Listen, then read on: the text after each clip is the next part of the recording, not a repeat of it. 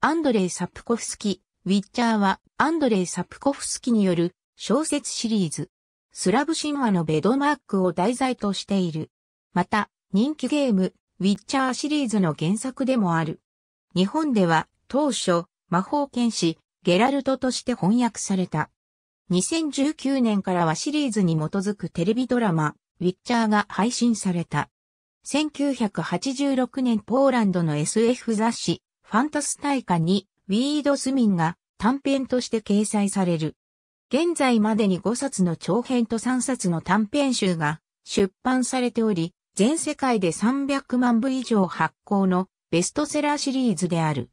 2009年には英語版のブラッド・オブ・エルブスがデイビッド・ゲメル・レジェンド賞を受賞している。1993年ポーランドで漫画家。英語版記事ザ・ウィッチャーコミックブックス2001年ポーランドで映画化。英題ザ・ヘクサー、放題、コンクエスタドール2002年ポーランドで TV シリーズ化。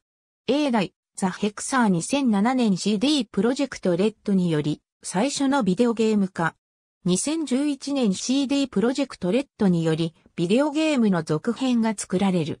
2014年 CD プロジェクトレッドとファンタジーフライトゲームズによりボードゲーム化。日本語版はアークライトゲームズより発売。2015年 CD プロジェクトレッドによりビデオゲーム3作目が作られる。2017年ネットフリックスがドラマシリーズ化を発表。2019年ネットフリックスにてドラマシリーズウィッチャー配信開始。短編集、単独作、アンソロジー、ウィードスミンの世界。ありがとうございます。